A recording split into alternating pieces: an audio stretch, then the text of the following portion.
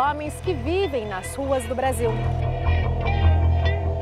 Hoje iniciaremos uma série de reportagem sobre moradores de rua.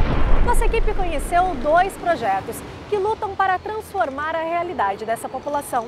O nosso ponto de partida fica a 60 quilômetros da cidade de Goiânia, capital de Goiás. Foi em Anápolis que começou aquilo que mais tarde viraria o maior centro de recuperação de moradores de rua do país.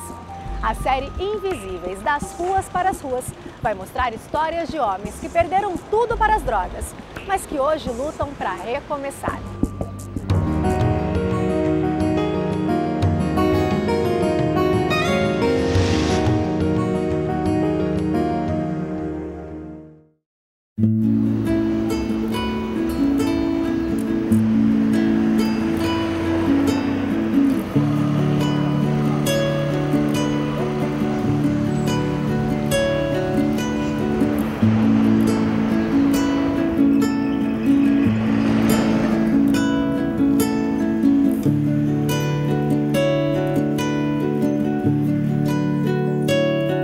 Completar um ano de idade, Janderson perdeu a mãe. Aos 12, ele se envolveu com drogas e, depois de passar por um período preso, o rapaz de 33 anos trocou a casa no canal 4 da cidade de Santos, litoral de São Paulo, pelas ruas de Anápolis, no estado de Goiás. Tenho o sonho de reconstruir novamente uma família, né? De poder ter tudo aquilo a qual um dia eu perdi por causa do uso de drogas, né? Janderson não é exceção. A pesquisa mais recente, feita com pessoas em situação de rua, foi realizada entre o ano de 2007 e 2008 pelo Ministério de Desenvolvimento Social e Combate à Fome foram analisadas 71 cidades com população superior a 300 mil habitantes, abrangendo inclusive as capitais, exceto São Paulo, Belo Horizonte, Recife e Porto Alegre. A pesquisa mostra que são quase 32 mil pessoas que utilizam as ruas como moradia.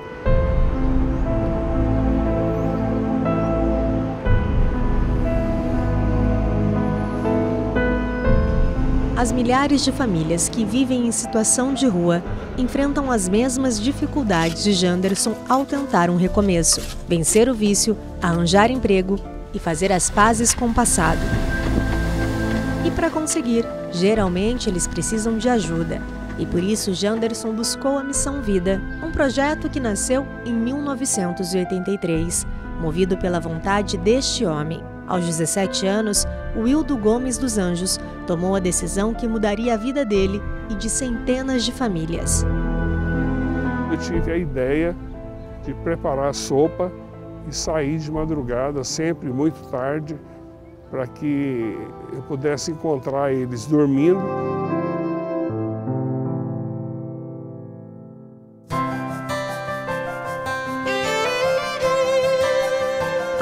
Ganhou adeptos e colaboradores com a ajuda de quem acredita na causa, a Missão Vida se transformou no primeiro e maior centro de recuperação de mendigos do Brasil. Valdir, eu vim do estado do Pará. João da Cruz Pereira de Souza, eu vim do Piauí. Antônio Eldon de Souza Selmo, sou de Ceará. A missão começou a ganhar corpo e logo nós nos reunimos e, para minha surpresa, começaram a surgir os frutos verdadeiros, aqueles que começaram a ter as vidas assim mudadas, transformadas. Comecei a arrumar emprego para alguns, outros que eram de outros estados. Eu comecei a comprar passagem para aqueles que queriam voltar para suas cidades.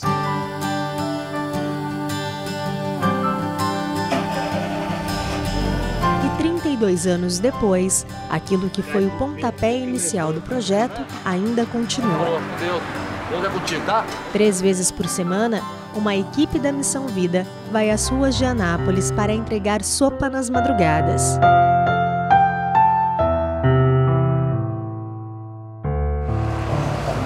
Tá bem, ué. Eu vou deixar um negócio com o senhor aqui. Esse é um cartãozinho que eu tinha deixado aqui. Isso aqui é da missão Vida lá, você tá entendendo? Caso você quiser dar uma oportunidade para você mesmo, ficar com a gente lá, você tá entendendo? E essa é a principal porta de entrada para quem hoje vive nas instalações da Missão Vida. É através desse contato que eles conhecem o projeto e buscam ajuda.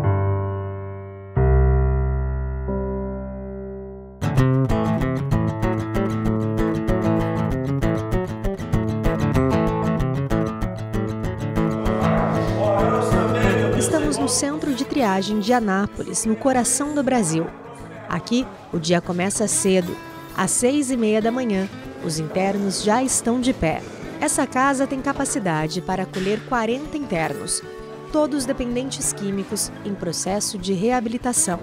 Neste local, eles permanecem por no mínimo 60 dias e não pagam absolutamente nada pelo tratamento. A gente usa a terapia ocupacional já preparando eles para reintegrar a sociedade. Já chega lá fora um homem preparado tanto psicologicamente, espiritualmente e fisicamente para voltar ao mercado de trabalho. Cada interno tem uma função. Janderson, por exemplo, está trabalhando na construção do muro que cerca a casa de triagem. Eu trabalho aqui na área de ajudante pedreiro, né? E também sou levita, né? Toco violão. E ajudamos aí na casa o que for preciso.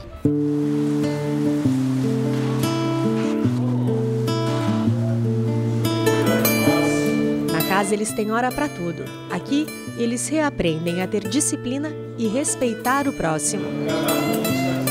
Nessa caminhada é essencial o acompanhamento de profissionais. Entre eles, o psicólogo é indispensável. E existe inclusive uma explicação científica para isso. Com as neuroimagens e as pesquisas feitas pela neurociência, demonstrou-se que populações que vivem em situação de risco, por exemplo, elas vivem, é, dentre outros sintomas, em estado de alerta. Né? Então, o estado de alerta altera o hipocampo.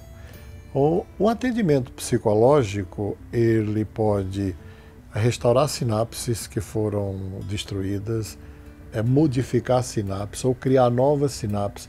E depois de um tempo de atendimento bem sucedido, o hipocampo dessas pessoas volta ao tamanho normal. Antônio Maspoli é psicoterapeuta, neurocientista e professor de Teologia e Ciências da Religião na Universidade Presbiteriana Mackenzie. Ele defendeu uma tese de mestrado sobre a psicologia nas organizações não governamentais e concluiu que nos trabalhos realizados com população de rua, o psicólogo precisa ir além daquilo que aprendeu durante a formação. O papel maior é de acolher, acolher mesmo no sentido humano, né? De compaixão, né? Sem um psicólogo, esse trabalho fica capenga, ele fica prejudicado. Muito obrigado por cada terapia que está sendo desenvolvida. Os obreiros também são peça fundamental na engrenagem que move esse projeto. Eles ajudam a organizar a rotina do centro de triagem. Eu ajudo na quando eles chegam, receber eles, né? E primeiro a gente faz o primeiro atendimento, que é o acolhimento, porque eles chegam muito maltratados do mundo aí fora. O Alessandro, ele acabou de chegar na Missão Vida, a gente estamos acolhendo ele, é, menos um na rua.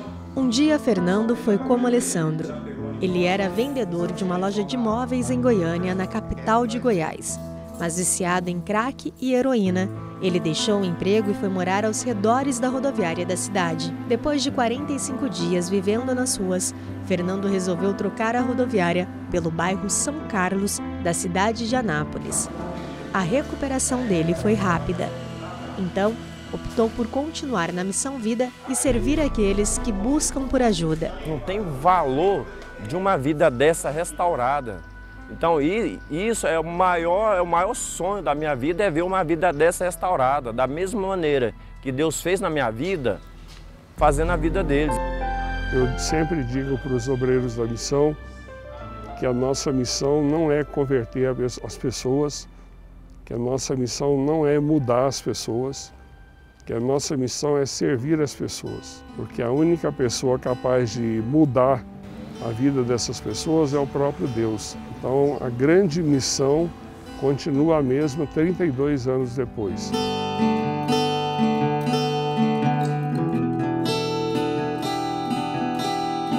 A Missão Vida atua hoje nas cinco regiões do Brasil. São cerca de 600 leitos, acolhendo homens de todos os lugares do país.